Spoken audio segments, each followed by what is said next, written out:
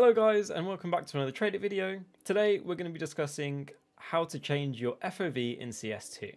Okay, so the easiest way to do this is by opening Crashz' view model generator from the workshop. Now if you're not sure how to get workshop maps or you don't know what they are, then uh, you should check out the Tradeit blog which is linked in the description or, or check out Tradeit's other videos as we would probably have discussed this in another video. But for now, once you've opened this uh, view model generator, you can then select the view model FOV from any of the options listed down below.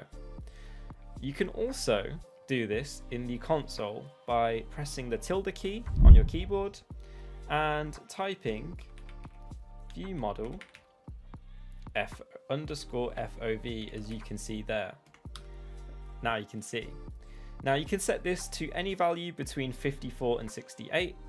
There's not too much of a difference between them. If I cycle through them just now, you can see not a whole lot changes, but just for clarity and to be able to see as much as possible, I would generally recommend setting it to as high a value as possible um, up until the point where you feel distortion at the sides of the screens or whatever your personal preference is really. But that's going to be it for today's video.